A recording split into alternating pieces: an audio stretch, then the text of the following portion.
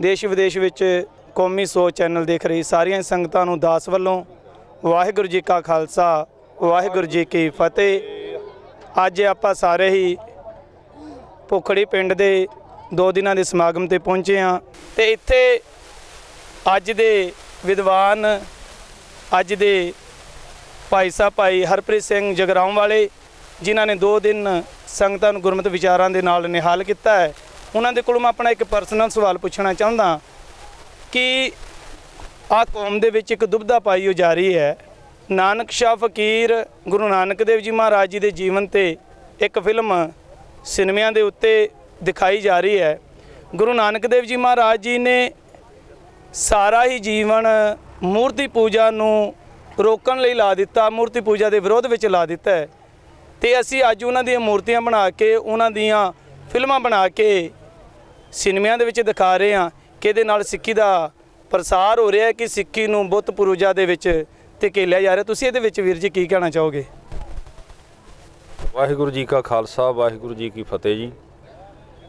ਦੇਖੋ, ਮੂਰਤੀ ਪੂਜਾ ਮਹਾਪੁਰਸ਼ਾਂ ਦੇ ਗਿਆਨ ਨੂੰ ਦੱਬਣ ਦਾ ਇੱਕ ਬਹੁਤ ਵਧੀਆ ਤਰੀਕਾ ਹੈ, ਜਿਹੜਾ ਇਹ ਅੱਜ ਤੋਂ ਨਹੀਂ, ਬਹੁਤ ਸਮਾਂ ਪਹਿਲਾਂ ਤੋਂ ਇਹ ਤਰੀਕਾ ਅਪਣਾ ਕੇ ਸਤਪੁਰਸ਼ਾਂ ਦੇ ਗਿਆਨ ਨੂੰ ਮੂਰਤੀ ਥੱਲੇ ਦੱਬਣ ਦਾ ਪਖੰਡੀ ਲੋਕਾਂ ਨੇ ਯਤਨ ਕੀਤਾ ਔਰ ਉਹਨਾਂ ਦੇ ਯਤਨ ਨਿਰੰਤਰ ਜਾਰੀ ਨੇ। ਉਹ ਆਪਣੇ ਵਾਰਸਾਂ ਨੂੰ ਇਸ ਤਰ੍ਹਾਂ ਦੇ ਯਤਨ ਕਰਨ ਲਈ ਪ੍ਰੇਰਦੇ ਰਹਿੰਦੇ ਨੇ ਤੇ ਸਾਡਾ ਫਰਜ਼ ਬਣਦਾ ਅਸੀਂ ਗੁਰੂ ਨਾਨਕ ਦੇ ਵਾਰਸਾਂ, ਅਸੀਂ ਅੱਗੋਂ ਦੇ ਅੱਗੋਂ ਇਹ ਯਤਨ ਕਰਦੇ ਰਹੀਏ, ਪ੍ਰੇਰਦੇ ਰਹੀਏ ਕਿ ਅਸੀਂ ਮਹਾਂਪੁਰਸ਼ਾਂ ਦੇ ਸਤਿਗੁਰੂ ਨਾਨਕ ਦੇ ਉਸ ਗਿਆਨ ਨੂੰ ਮੂਰਤੀ ਪੂਜਾ ਦੇ ਥੱਲੇ ਦਫਨ ਨਹੀਂ ਹੋਣ ਦੇਣਾ, ਬਲਕਿ ਅਸੀਂ ਬਾਣੀ ਪੜ੍ਹਨੀ ਆ, ਜਾਗਰੂਕ ਹੋਣਾ ਕਿ ਸ਼ਬਦ ਦੀ ਧੁਨ ਦੇ ਵਿੱਚ ਲੀਨ ਹੁੰਦਿਆਂ ਆਪਣੀ ਮੰਜ਼ਿਲ ਪਰਮਾਤਮਾ ਤੱਕ ਪਹੁੰਚਣਾ।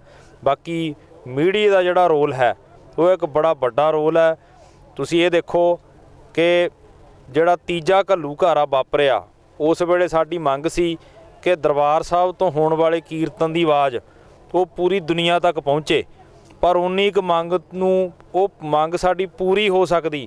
ਉਹਨੂੰ ਪੂਰੀ ਕਰਨ ਦੇ ਲਈ ਸਾਨੂੰ ਕੀ ਪ੍ਰਾਪਤ ਹੋਇਆ, ਕੀ ਕੁਝ ਕਰਨਾ ਪਿਆ ਦਰਬਾਰ ਸਾਹਿਬ ਦੀ ਪ੍ਰਕਰਮਾ ਆ ਜਿਹੜੀ, ਉਹ ਲਾਸ਼ਾਂ ਨਾਲ ਭਰੀ ਤੇ ਤਾਂ ਜਾ ਕੇ ਬਾਅਦ ਚੋਂ ਅਨਾਉਂਸਮੈਂਟ ਹੁੰਦੀ ਆ ਵੀ ਹੁਣ ਧੁਰਕੀ ਬਾਣੀ ਦਾ ਕੀਰਤਨ ਆ ਜਿਹੜਾ, ਉਹ ਅੱਧਾ ਘੰਟਾ ਪ੍ਰਸਾਰਿਤ ਕਰ ਦਿਆ ਕਰਾਂਗੇ। ਔਰ ਸਾਨੂੰ ਇੱਕ ਬਹੁਤ ਵੱਡੀ ਪ੍ਰਾਪਤੀ ਲੱਗ ਰਹੀ ਸੀ ਭਾਵ ਹਾਲਾਂਕਿ ਉਹਦੀ ਜਿਹੜੀ ਕੀਮਤ ਆ, ਉਹ ਬਹੁਤ ਵੱਡੀ ਅਦਾ ਕਰਨੀ ਪਈ ਆ, ਪਰ ਜਿਹੜੀ ਸੱਚ ਦੀ ਆਵਾਜ਼ ਆ, ਸ਼ਬਦ ਦੀ ਆਵਾਜ਼ ਆ ਉਹੀ ਆ ਜਿਹੜੀ ਸਮਾਜ ਨੂੰ ਬਦਲ ਸਕਦੀ ਆ, ਸਮਾਜ ਨੂੰ ਸਿੱਧੇ ਰਾਹ ਤੇ ਲਿਆ ਸਕਦੀ ਆ।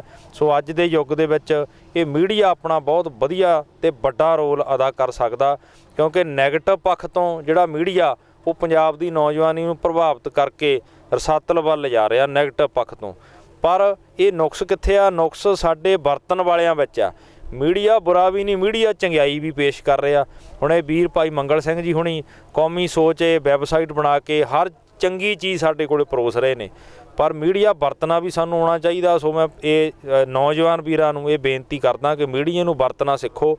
ਮੀਡੀਆ ਤੁਹਾਡਾ ਜੀਵਨ ਵਧੀਆ ਵੀ ਬਣਾ ਸਕਦਾ ਤੇ ਮਾੜਾ ਵੀ ਬਣਾ ਸਕਦਾ। ਆ ਨੌਜਵਾਨ ਪੀੜ੍ਹੀ ਜਿਹੜੀ ਅੱਜ ਵੀ ਇੱਥੇ ਖੜੀ ਹੈ, ਮੈਂ ਇੱਕ ਸਵਾਲ ਦੇ ਵਿੱਚ ਹਾਂ ਜਾਂ ਨਾ ਵਿੱਚ ਪੁੱਛਾਂ ਕਿ ਇਹ ਨੌਜਵਾਨ ਵੀ- ਪੀੜ੍ਹੀ ਨੂੰ ਜਿਹੜੇ ਐਮੀਨੇਟਡ ਫਿਲਮਾਂ ਬਣਾਈਆਂ ਜਾ ਰਹੀਆਂ ਨੇ ਜਾਂ ਜਿਹੜੀ ਨਾਨਕ ਸ਼ਾਹ ਫਕੀਰ ਫਿਲਮ ਬਣਾਈ ਜਾ ਰਹੀ ਹੈ, ਇਹ ਦੇਖਣ ਲਈ ਜਾਣਾ ਚਾਹੀਦਾ ਹੈ ਕਿ ਇਸ ਦਾ ਵਿਰੋਧ ਕਰਨਾ ਚਾਹੀਦਾ ਹੈ।